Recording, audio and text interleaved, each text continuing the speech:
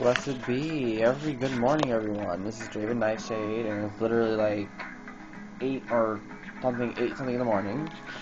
Oh, I'm trying to freeze it down a bit. I was doing my morning yoga. Okay. Um, and since I have so much energy for some odd reason, I've been having I didn't go to sleep last night, and I'm energetic and I am hyper. So, decided to do the tarot card of the day. I just how I always do it. The three card spread. This one represents the morning. This one represents the afternoon. This one represents the evening.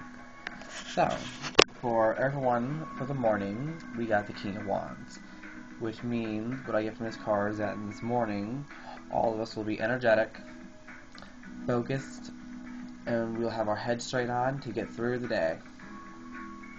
That is exactly what I get from this card.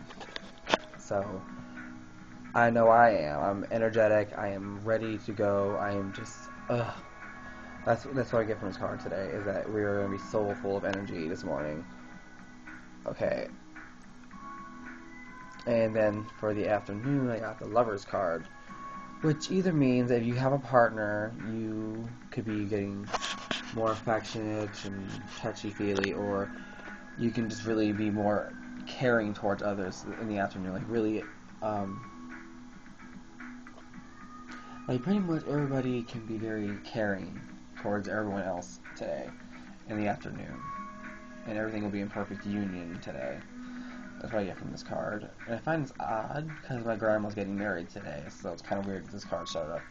And we got, for the afternoon, we got the Ace of Wands, which means new beginnings and opportunities. So, in the afternoon, something all of us, something new, we're all going to start something very new, or have a very great success in something new.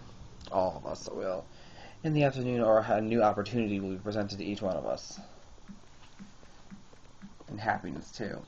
So overall, today's reading is a very good day today.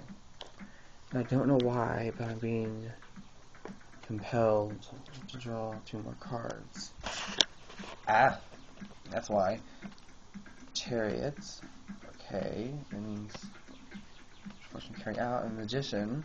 Okay, so the magician means mastery and skill of something. And the chariot means either travel or good will and good fortune, if I'm not mistaken. Um, hold on, I'm trying to see what I can get from this. Why would that would fit in with this reading? The chariot usually means travel.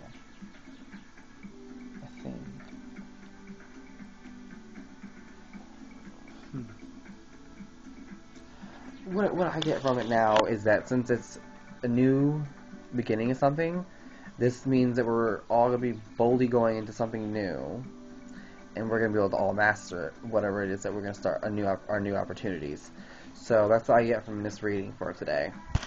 Um, so until next time, merry part and blessed be.